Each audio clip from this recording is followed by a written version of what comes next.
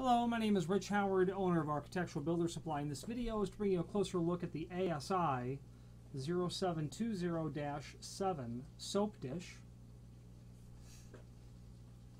with drain, drain holes. I'm sorry, not 0720-7, 0720-Z soap dish with drain holes. The 0720 is representative of the fact that this is a soap dish Okay, and there's a link below this video uh, to the cut sheet, which shows dimensionally everything important about it, and we'll go over that information in a moment. The dash Z means that it's a Zamak product, triple chrome plated, and uh, as far as I'm concerned, that is um, synonymous with just a typical builder's quality sort of item. So soap dishes like this are going to be used, uh, going to be found in uh, motel sorts of applications, uh, most generally. Not so much in residential applications, but you certainly could. There'd be nothing that would exclude it from residential use. Slots for drain, drain holes, so to speak, for the soap.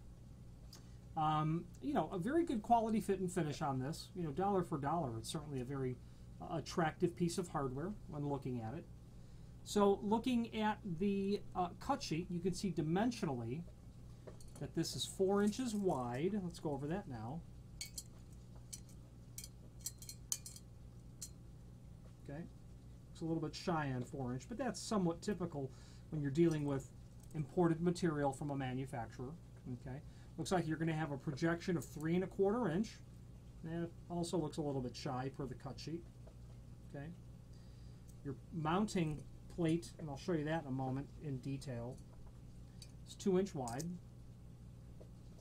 That's right on. An inch and a half tall.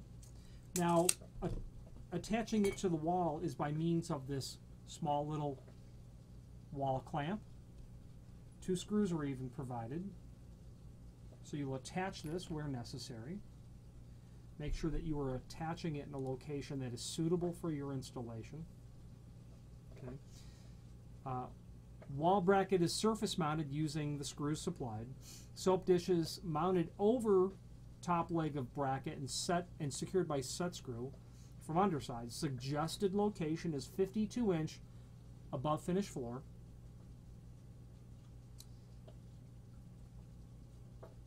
to the center line of the wall bracket or 6 inch above a wash basin.